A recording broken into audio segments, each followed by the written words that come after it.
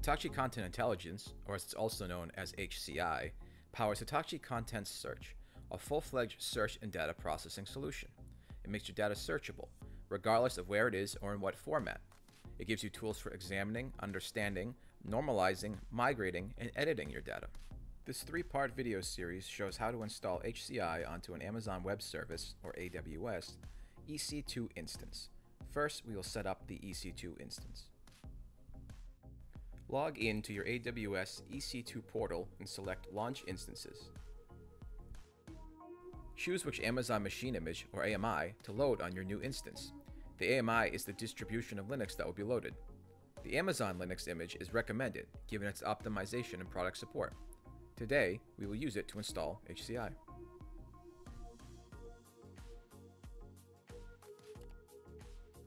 Now, choose your instance type. The minimum requirement is 4 virtual cores, or vCPUs, and 16 gigabytes of memory. Next, configure the details of the network, or as it is also known as your Virtual Private Cloud, or VPC. Under the Network Interface section of your instance setup, click Add Device to add a second interface to your VPC, and select a separate subnet for it. Now add storage. 100 gigabytes is the recommended starting point for an HCI instance. Now it is time to add tags. Tags provide you with organization for your cloud storage and provide additional ways to search your instances or set up automation around them. A tag consists of a case-sensitive key-value pair. For this example, the key is the HCI version, and the value is its version number. Lastly, configure your security group. A security group is a set of firewall rules which assign the access to your instance. Once a security group has been defined, you can reuse it again across other instances you create. In order to properly access the HCI instance, ports 22, 6162, 8000, and 8888 should be publicly accessible. No other ports should be exposed to the public.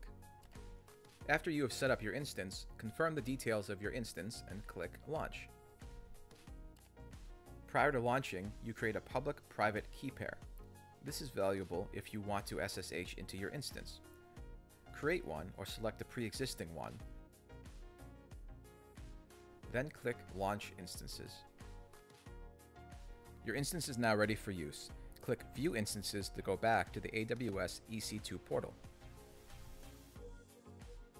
To access your new instance, create an Elastic IP address to associate with it. From the left-hand panel, scroll down to the Network and Security settings and select Elastic IPs.